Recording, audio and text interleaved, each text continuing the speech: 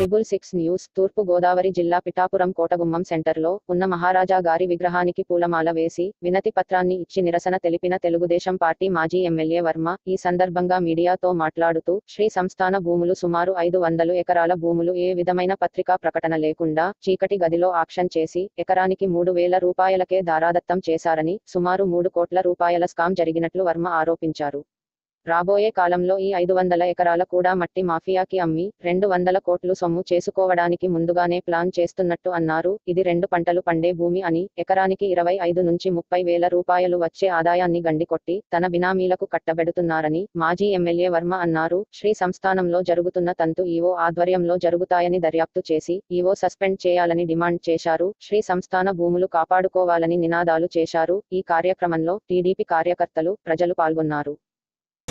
Paper ప్రకటన లేకుండా చీకటి గదిలో అధికారులు ఎన్నుకున్న దొరగారు కలిసి ఈ ఆస్తుల్ని మూడు వేలకి ఎకరం ఐదు వందల ఎకరాలని ఇచ్చేయడం జరిగింది. మేము దాని మీద పోరాటం చేయడం జరిగింది. దాని మీద కమిషనర్కి అందరికీ కూడా కంప్లైంట్ ఇవ్వడం జరిగింది. తక్షణం ఈవోని సస్పెండ్ చేయాలి. ఐదు వందల ఎకరాలని కాపాడాలి.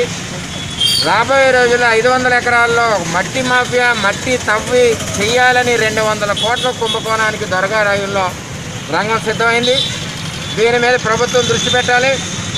గత టైంలో మా టైంలో మేము యాభై లక్షల ఆదాయ ఆదాయం సుమారు లక్ష రెండు లక్షల అటు మేము శ్రీ సంస్థానికి పోలీస్ బందోబస్తు పెట్టి ఓపెన్ ఆక్షన్ పెట్టాం. మీరు పేపర్ ప్రకటన చేయకుండా దొంగచాటుగా మూడు వేలకు ఎందుకు ఇచ్చారో దాని మీద నిజ నిజాలు గౌరవ కలెక్టర్ గారు నిగ్గు తేల్చాలి. ఈ భూమిని కబ్జా చేసి మట్టి వ్యాపారం చేయడానికి రంగం సిద్ధమైంది. దాన్ని బయట పెట్టాలని చెప్పి మేము కోరుతా ఉన్నాం. రాజాగారి సత్రం ఆస్తులు పేద పిల్లల గ్రామాల్లో ఉన్న పిల్లలు పిఠాపురం పట్టణంలో చదువుకున్న వాళ్ళకి భోజన వసతి గురించి ఇచ్చిన ఆస్తులు ఈ ఆస్తుల్ని రక్షించాలి. పేదవారి పిల్లలకు భోజన వసతి ఉండే విధంగా పోరాటం చేయాలి. పక్కన నీలమారి సత్రంలో నలభై వేల ఆశలకు వెళ్తే దీన్ని మూడు వేలకు అమ్మారు. ఐదు వందల ఎకరాలు బహిరంగ బహిరంగాక్షణ జరగాలి.